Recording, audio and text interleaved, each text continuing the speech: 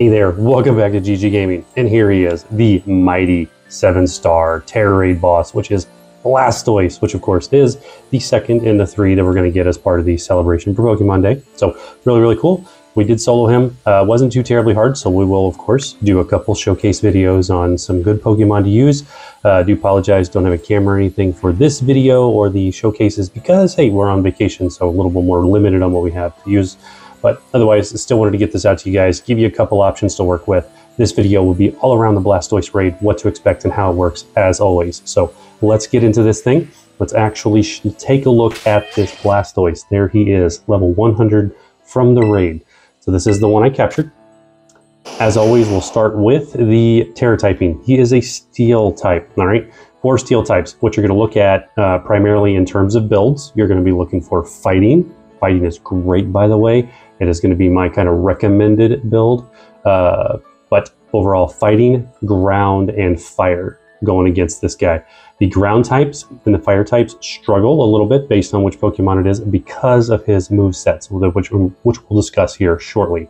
Um, and you'll kind of understand why those two struggle. I do have an idea with another Pokemon that I'm trying to flush out still as I continue to test that. If I can get one to work really, really well, a build to work for him, um, and that is Gastrodon, I will actually post that. Uh, I think there's a really good opportunity to use Gastrodon um, in this raid and, and make it work very well against him. But for the most part, we are going to focus over here for the showcases, the immediate ones are going to be Terapagos and Mewtwo. Both work phenomenally well with these builds and are really, really good. So check out those showcases for how those are going to be set up. Otherwise, let's keep going. Let's keep talking about Blastoise and what, what to expect in this raid. All right, over to the moves and the stats. And as you can see, I've got a side-by-side -side view going on here. With my limited setup, we're going to run with it for this video here.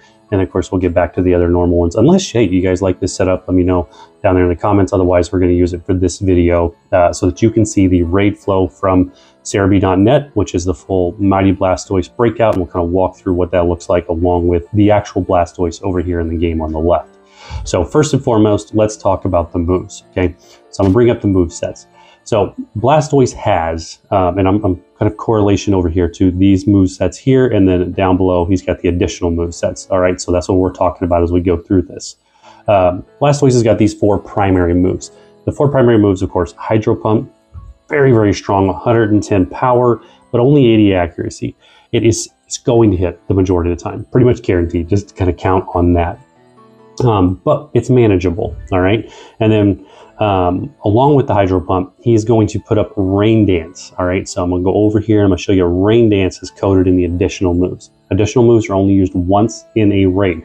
Um, and that's based on a HP or time interval, okay? For rain dance, as we go down here to the actual setup, we see rain dance is gonna be used at 49% HP. So at 49% HP, Blastoise is gonna use rain dance, at which point the hydro pump becomes even stronger and it will really, really wreck you because he is just insane when he gets to that point. Um, but my builds will be able to manage it, no problem for you. Uh, after that, we've got Flash, uh, Flash Cannon. Of course, we're always going to have a really good Steel type uh, or really good move type that matches his Tera type, which is Steel. So Flash Cannon, again, one of the best in the game. Uh, 80 power, 100% accuracy, and the potential to drop your special defense. Uh, my builds will focus on kind of getting him away from using that flash cannon uh, because that flash cannon is very, very annoying. But he is going to use it sometimes, so you kind of have to deal with that uh, that possibility of lowering your special defense, and we'll talk about that. Next on the list is Aura Sphere. Aurasphere, of course, is one of the best special fighting attacks in the game. Uh, coincidentally enough, that is going to be the signature move that we put on Mewtwo down here. He is going to be using that Aura Sphere in that build, so you definitely want to check that out.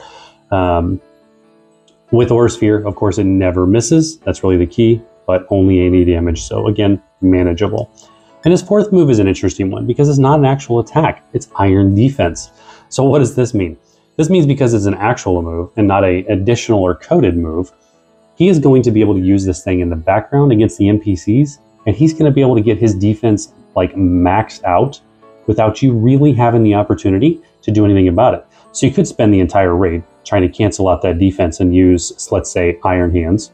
Iron Hands probably would have been great in this raid, and I say probably because because of that fact that he has the Iron defense, he's going to be able to max out his defense. Uh, Iron Hands is not going to be as effective because you're going to have to keep Iron Hands maxed out to even keep up with it. Um, and that's just not rational with the amount of damage that's done from a seven star boss. I'm sure there's somebody out there who's going to figure out a viable way to use Iron Hands, uh, but it's not going to be my recommendation. My recommendation is going to be special. All right, we are going to focus on the special special defense side. Um, special defense. There you go. So we're going to do the special defense side for this uh, in my builds. That's his moves. All right, Hydro Pump, Flash Cannon, Aura Sphere. Those are your damage and then Iron Defense to uh, really just make it force us to focus special Pokemon. All right, next let's finish the move set that he's got in terms of the additional moves. So now we're going to go over here to the right side of the screen. We're going to talk about those additional moves. Okay, first and foremost is going to be Withdraw. Withdraw is going to um, allow him to boost his defense. So again, the same as Iron Defense that we have over here. Iron Defense boosts his plus two. Withdraw, he's going to use right at the beginning of the raid that we see right here with 99% left. Um, he's going to use it basically turn zero before you even get to do anything and boost his defense up one stat point.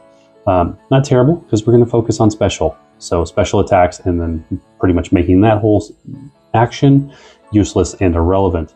The next one on the list is Shell Smash. Shell Smash is an interesting one because what it does is it actually drops his defensive stats. It's going to drop both defense and special defense to boost his attack and special attack. And he's going to use that right here at the 75 HP uh, marker. So at a 75% of his HP, he's going to use Shell Smash. Again, it just fluctuates the stats one point, so it's not the end of the world. We can manage it, we can work with it, um, but it will make these moves over here, these special attack moves, Hydro Pump, Flash Cannon, etc., just that much more effective against you if we don't build properly.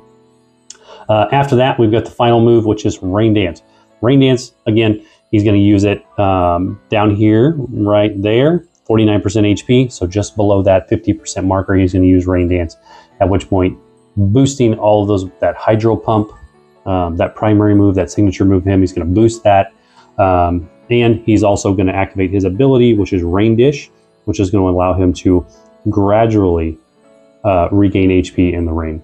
Um, again, it's manageable because one, he's a raid boss and he has a ton of HP, so you barely even see this take effect in terms of this set ability. It's, it's not even it, it's not relevant whatsoever in this in, in this fight as my as far as my opinion goes.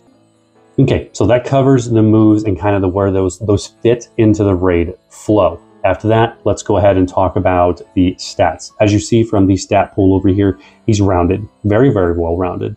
Um, everything is kind of sitting in that 200 marker, except for the HP at 299. Otherwise, Blastoise is great. He's a beast. He's got good rounded stats. Um, his natural stats, of course, are just as good. His special defense is a little bit higher um, that we see here, but that's totally okay. We can manage that. Um, we'll boost our Pokemon to take care of that, and uh, no, be no big deal at all. Um, overall, nothing special in the stats to address other than, hey, look, he's well rounded uh, and really nothing too crazy to worry about. So we'll be good to go there. Let's jump over and let's finish this conversation with the raid flow. So we're going to talk about the scripted actions and how the raid actually plays out. And this will make much more sense when you go check out the um, one of the showcase videos because I will actually talk about these when they are happening. So essentially what you have is on turn zero, you've got these three here or two items. Uh, so this is going to happen immediately when the raid starts. You're going to get shield activation, so you're going to to deal with that shield right up front. You're not going to have the capability to debuff Blastoise or anything along those lines, so don't worry about that. Um, you're just going to focus on basically getting three good moves in and get your Tera typing up so that you can deal with that shield. He's also going to use Withdrawal, of course, which is going to boost his defense stat. With that, he's going to have access to Iron Defense as soon as the formal moves do begin allowing him to further boost his defense. And this Blastoise is pretty much going to sit max defense the entire raid, and that is the key to why we're going to focus on the special side for our builds. Um, so both of the showcases that we're going to do immediately with Terapagos and Mewtwo, both fully special, both work really, really well against this, and they take that whole defensive thing completely out of the equation. After we get past turn zero, the next things to understand is he's going to reset his stats twice. Blastoise's stats get reset two times, okay? So we're not going to focus on debuffing Blastoise whatsoever. We are going to let him be, let him max his defense out, and who cares at the end of the day because it doesn't really hurt us. Um, and then we're going to uh, just kind of work through our way through the raid ultimately pushing Rain Dance at 49%. Uh, that can be very, very annoying. So we will approach that in our uh, raid showcases to deal with that once you get to that point. But ultimately, just use Sunny Day, use uh, Sandstorm, whatever to get rid of Rain Dance, and you're going to be just fine. It's a coded move. It's up here under the additional moves, which means he's only going to use it once, and you don't have to worry about it once you get rid of it. Uh, after that, uh, the last thing to note is going to be at 60%, he's going to debuff you. So 60% time not HP. Okay, that's a key factor. So you want to watch the timer, pay attention. Once he gets to the 60% time part, he's going to debuff you, which allows us then to be able to start boosting our Pokemon as far as we want to get through this fight. So we'll have 60% of the match to be fully boosted and catch up on any, you know, time we're behind, etc., and get this Blastoise down. So hopefully that was helpful. Hopefully that explains what you're dealing with with this brand new seven star Mightiest Mark Blastoise let's get into the showcases. And hey, as always, if this was helpful, drop a like, hit the sub button, throw something down in the comments to let me know how to improve this if you like this flow, etc. Again, I apologize, we're on vacation, so it's a little bit different look, but I do want to get these out for you guys either way so that you have something to work with and have be able to solo this Blastoise. So be on the lookout for those showcases. They will be coming shortly. And hey, we'll see you in the next one.